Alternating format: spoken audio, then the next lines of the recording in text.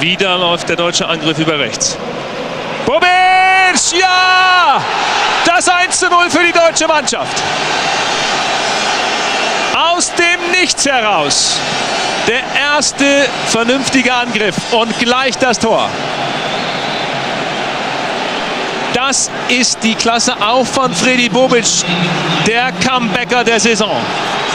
Noch einmal.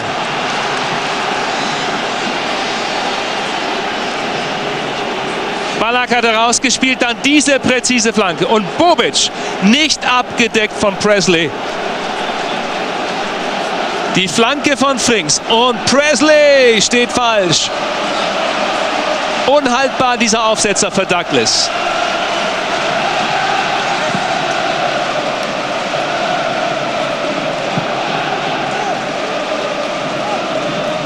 Zeigt natürlich auch ihre spielerischen Grenzen.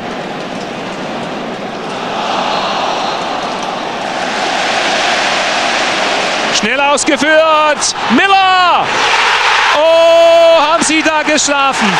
Cameron hatte den Freistoß. Der Mann mit der Nummer 11 ganz schnell ausgeführt. Und dann Kenny Miller, der Stürmerstab von Wolverhampton Wanderers.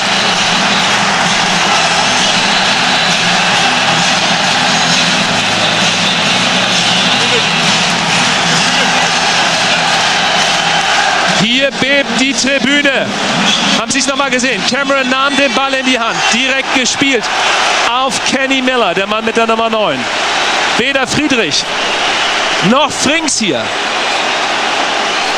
Und dann den Ball klug in die lange Ecke geschoben. Mann, haben die da geschlafen.